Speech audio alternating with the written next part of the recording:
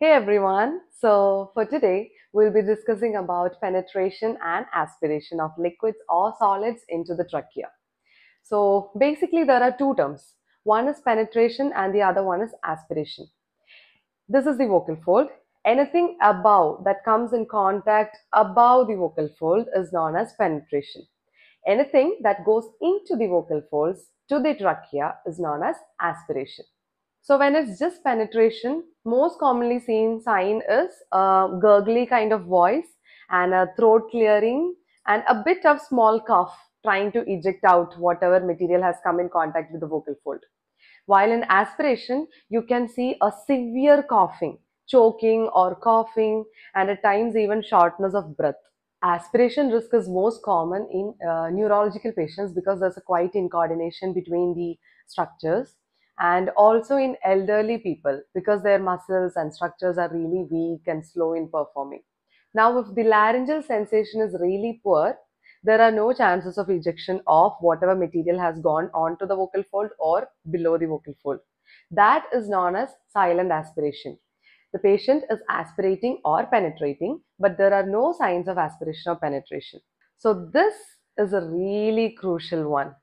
I would personally prefer to go for a video fluoroscopy, a VFSS examination, than a FEES to rule out silent aspiration because during FEES, uh, when the patient is swallowing, the epiglottis comes and closes. So that is a whiteout phase in FEES. And at that time, not sure if we can measure out any sort of micro aspiration that have happened. But if we are doing VFSS, we can clearly see what amount of bolus have gone into the trachea or into the lungs. And we can also rule out the silent aspiration by looking at the patient, looking at what signs he is exhibiting. If a person keeps on aspirating for a longer period of time, that person can develop pneumonia, that is aspiration pneumonia. So aspiration pneumonia chances can depend on different different factors. One is how much amount of food is going into the lungs. And second is if the patient is having a good cough reflex and there is a good pulmonary clearance, there are less chance of developing aspiration pneumonia. Uh, third is what type of food is going into the lungs. If it's a really acid kind of food, there are more chances that the patient can develop aspiration pneumonia. And also one major factor, how much depth of aspiration have occurred, whether it has gone only to the trachea or to the lungs. So it's not just aspiration pneumonia that can occur due to aspiration. There are other respiratory uh, complications also. There's another one that is aspiration pneumonitis. That's like an acute lung injury onto the tracheobronchial tree and also the parenchyma areas. This happens mainly due to aspiration of regurgitated gastric contents. Bronchitis, that is the inflammation of bronchia, uh, that is mainly because of uh, too many uh, aspiration episodes and at the same time, uh, the patient is trying to cough a lot.